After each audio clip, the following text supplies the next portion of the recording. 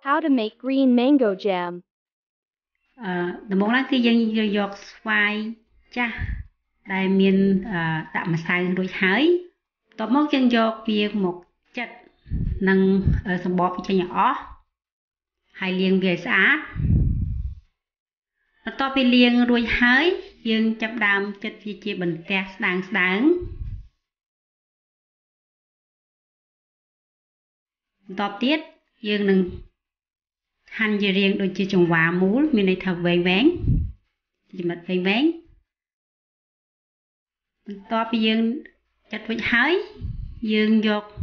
ស្វាយទាំងនោះមកច្របល់ជាមួយនឹងអំបិលដើម្បីវាសាបជាតិជូរ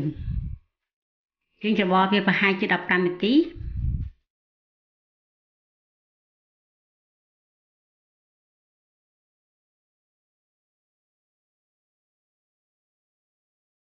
បន្តមកទៀតយើងផ្អាប់ស្វាយនោះរយៈពេល1ម៉ោង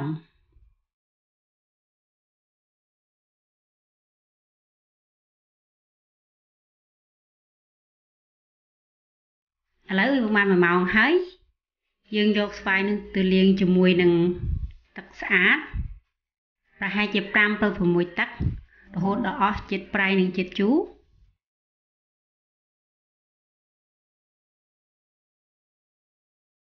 ហើយយើងពូតស្វាយយើងឲ្យស្ងួតឲ្យស្ងួតទឹកហើយ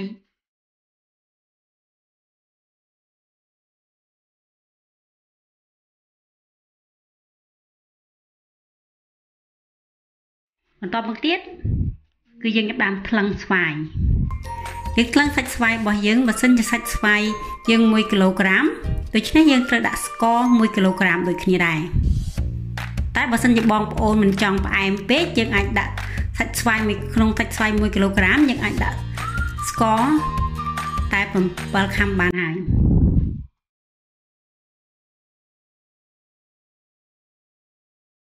ឥឡូវយើងដាក់ខ្ទះលើចង្ក្រានហើយយើងចាក់ទឹកចូលបន្តិចដើម្បីដល់ពេលយើងចាក់ស្ករទៅកុំឲ្យវាខ្លោច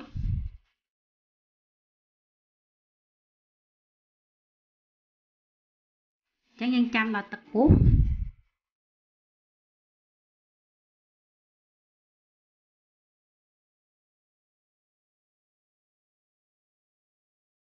បន្ទាប់មកយើងចាក់ស្ករចូល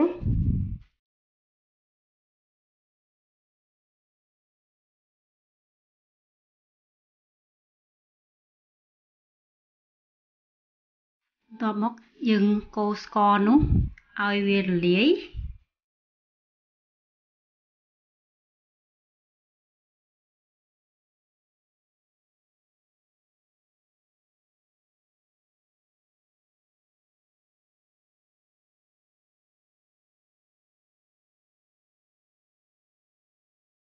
យើង បន្តកូរស្កររហូត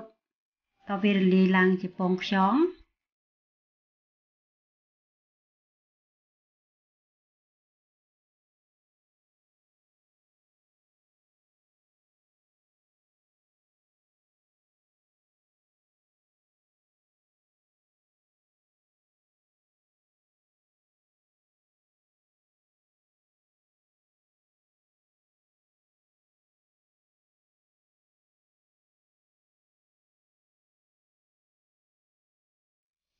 បន្ទាប់មកទៀតគឺយើងចាក់ស្វាយដែលយើងបានពូតស្អាតរួចហើយនោះ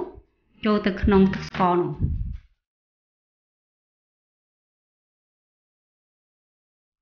ហើយយើងកូរស្ករហើយនឹងទឹកស្ករហើយនឹងស្វាយនោះឲ្យសព្វចូលគ្នា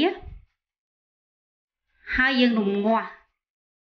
ស្វាយនិងទឹកស្ករនោះរហូតដល់រីងទឹក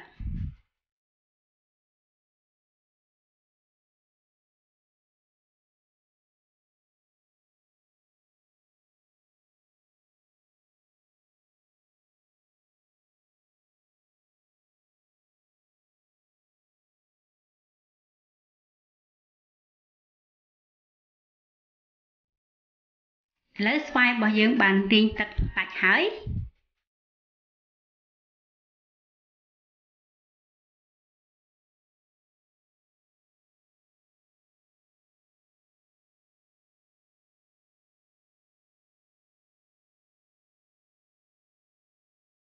យើងអាចលើកចុះមកបានហើយយើង